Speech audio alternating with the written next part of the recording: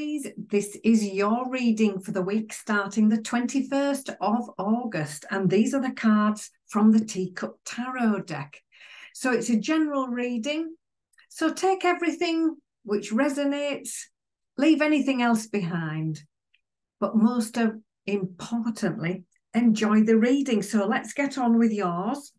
So your overall energy is card 20, reflection. And this is exactly what it says on the card. And here she is. Look, our lovely angel. She just put the rucksack down and she's having a rest. She's having a break. And even better, she's having a pot of tea because she's thinking, she's reflecting.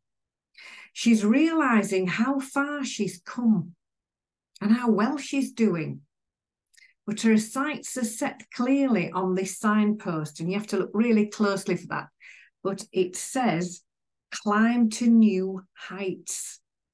So, what she's actually doing is just taking that time out and thinking and pausing. And this is what you need to be doing this week. And then, where to next? just start to have a think of which direction you want to go, what you would like to be working towards. Now, your help or your hurdle with this in charges the Knight of Teacups on the motorbike, all very fast moving energy. And this card says, just stay balanced, just go steady. So it follows on from this reflection card really well. So it isn't a week to go rushing off and doing something straight away. It's a week to just relax and reflect. Just gather your thoughts as to where you want to go next. Because coming up, Ace of Coins, this is a wonderful new opportunity coming in. And if we look at the card, look, she's found the keys to the treasure chest. Those are what she found while she was reflecting and thinking. And now she's opened that treasure chest and here is that golden opportunity right in front of her. So something new, abundance coming in, a new opportunity. Now, it might be a new job, it might be a new career, even. It could be a pay rise, it could be a new area of study. So, something coming in to find you this week, just make sure that you are awake and ready to move towards that opportunity. Look, that's what she's doing in here. She's moving towards it, and that's just what you need to be mindful of. How can we help ourselves? We've got the Hermit card, and this card says it's time for you to step up. It's time for you to show the world what you know. Be that guiding light for other people to follow. So, stepping up into a leadership role could be featuring for you this week. Pulling it all together, we've got card 16, life experience. This is all about learning from the past.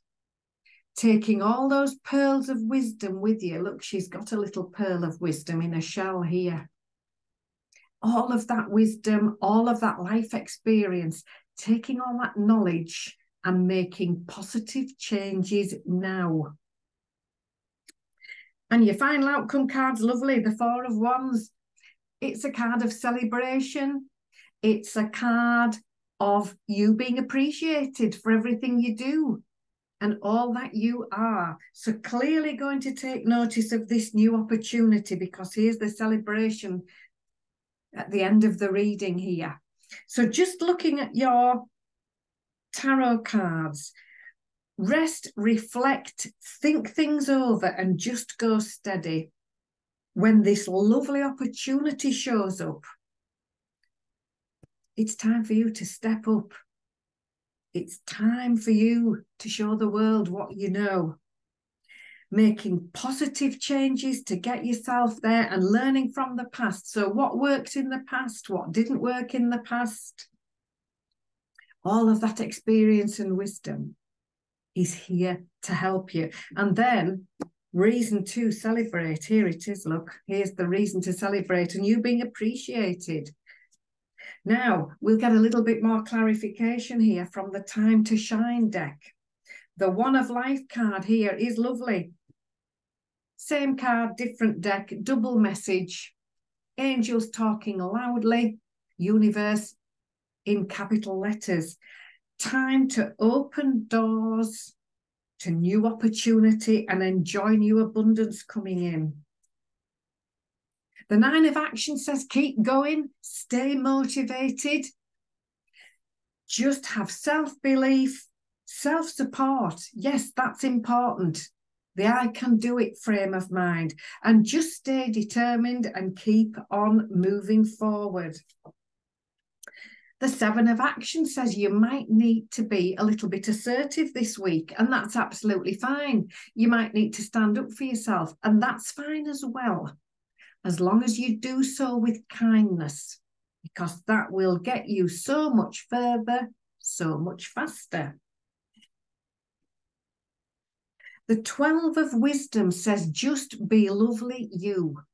Don't try to be anybody else. Everybody else is taken. And this card also says, look at things with a different perspective. So have another look at things and just see if there's a different way of looking at them because that will serve you well. The Seven of Emotions says you might have more than one option to choose from this week. So this says stand back and look at them all. And look here on the card. She's got a choice between a cactus or a sunflower. Choose the sunflower. Take your time. This is what we're saying here. Stay balanced and re reflect, think things over. Look at all your options carefully. And then you know when you choose that you're choosing just the right thing for you. And you're clearly going to do that because the final card is the Ten of Emotion. It's one of the happiest cards in the deck. It's happy family life, happy home life, trustworthy relationships, emotional fulfillment, and it has happiness and joy written all over it. So, looking at all the cards together, your mindfulness homework this week, take your time, just go steady stay motivated, stand up for yourself if you need to, and be individual, lovely you. And take your time over your decisions.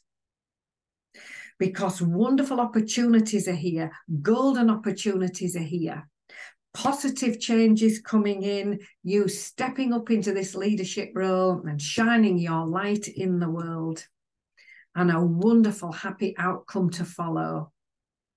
So, a lovely week for you. I hope you've enjoyed the reading. If you have, click that subscribe button. Thank you for doing that. It makes a huge difference to me. And then you'll get notified when I do the next reading for you as well. So take care now, and I'll see you soon.